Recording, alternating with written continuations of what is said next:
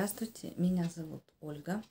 Хочу поделиться своими впечатлениями о марафоне депривации сна, который проводила Светлана Лаврова. Э, почему я стала участником данного мероприятия? Потому что у меня уже ранее был опыт, э, когда я осознанно сокращала время сна. Спала по 3-4 часа в сутки, и мне очень нравилось мое состояние э, спокойствия, эмоционального равновесия.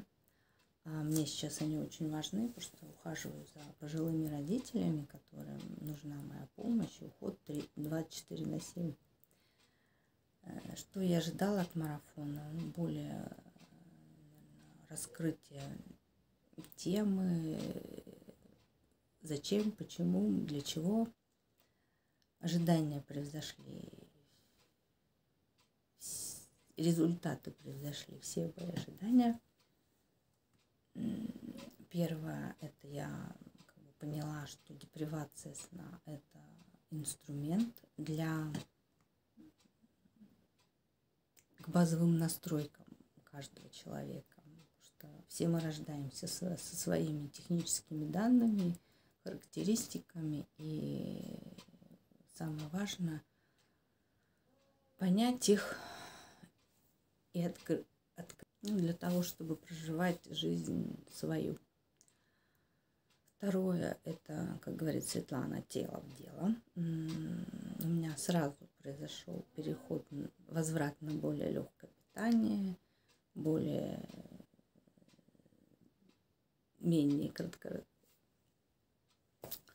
Время сна сократилось, и самое главное, что я встала, мое тело попросило – я встала и пошла делать физические упражнения. Вот это для меня очень важный момент. Я не могла вернуться к упражнениям, наверное, уже полгода. И третье уже, конечно, какие-то произошли более глубокие понимания, процессы скрылись. Но это уже такие личные моменты у каждого. И еще один момент, что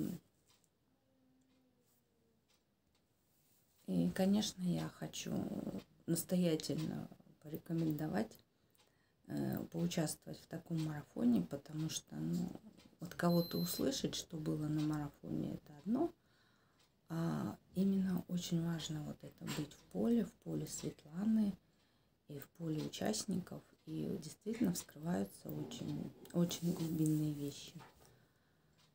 И еще что для меня важно, что вот у Светланы будет марафон паранофит. Я вообще думала, это не про меня. Я и какие-то физические упражнения несовместимы. Сейчас, конечно, мое тело просит и хочется тоже осознавания, понимания именно про нашу физику, про тело.